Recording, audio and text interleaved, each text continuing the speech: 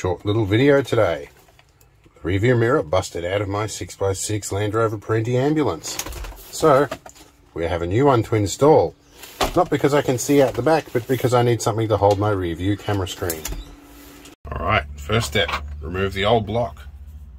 Next step, open the packet and try not to slice my finger off. Next step, remove the block out of the new one. Second last step, slide the mirror onto the old block and hope it fits. It does. Hello. Last step, turn on the key and hope nothing broke when it fell off before. I don't see a cracked screen and I think we're back in action. All good. See you in the next one.